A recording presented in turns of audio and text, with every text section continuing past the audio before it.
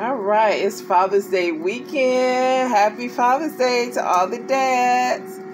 I have a little lunch. This isn't even dinner.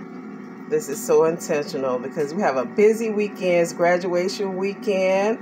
Happy graduation to all the 2022 graduates.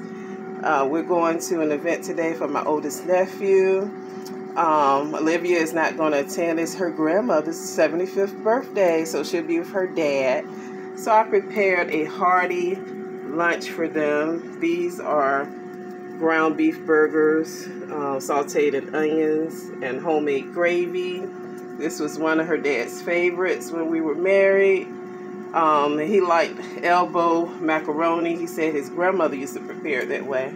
So I made elbow macaroni, but I made it with mac and cheese.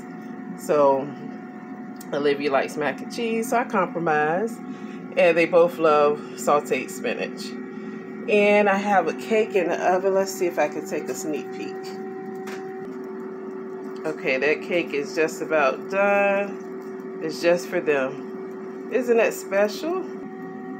So I just wanted to be an intentional great mom um, Olivia's going to cook dinner for him tomorrow, but my gift to him today is a lunch.